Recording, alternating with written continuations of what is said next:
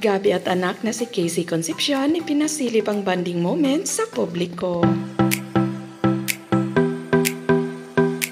This is called the Cheesecake. cheesecake. Uh, check po. Cheesecake. Yeah, ano? and this one is called That one is uh, peanut butter espresso. peanut butter espresso.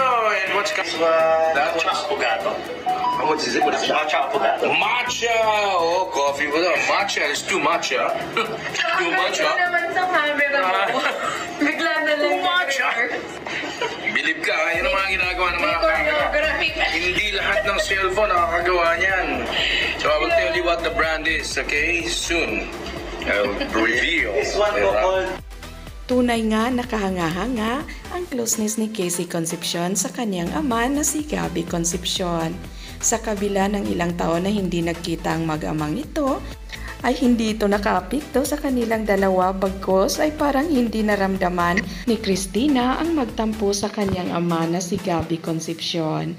Well mga ka-showbiz tokis, kangahanga nga talaga ang ugali ng isang Casey Concepcion. Tunay na napalaki ito ni Sharon na magalang at mabait na bata at hindi ito mapagtanim ng sama ng loob sa kanyang mga magulang na si Gabby Concepcion at Sharon Conita.